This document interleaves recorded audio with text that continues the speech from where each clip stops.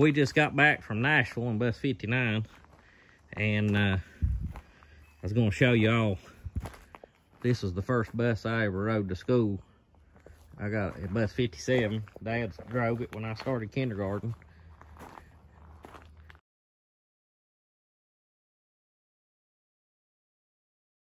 And uh, motor went down in it.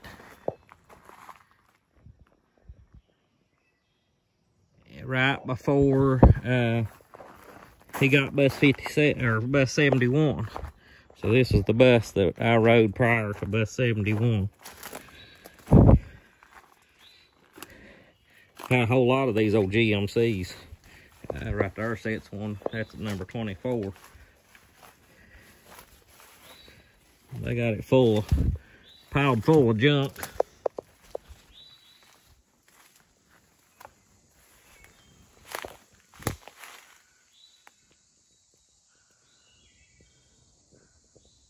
Them was good old buses right there, though. You can tell this one's pretty old. It didn't even have amber lights.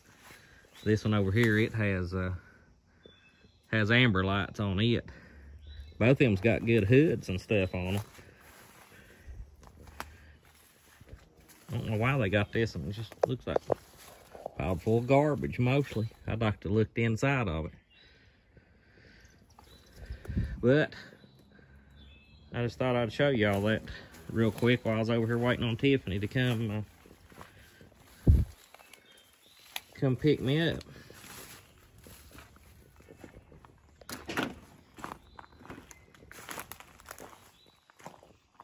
I'd like to have looked in it.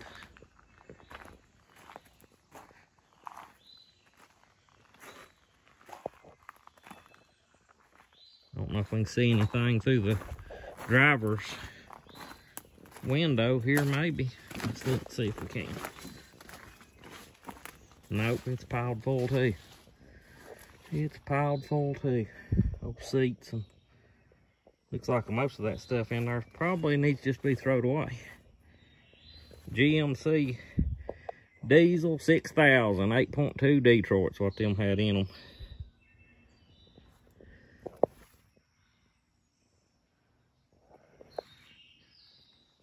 But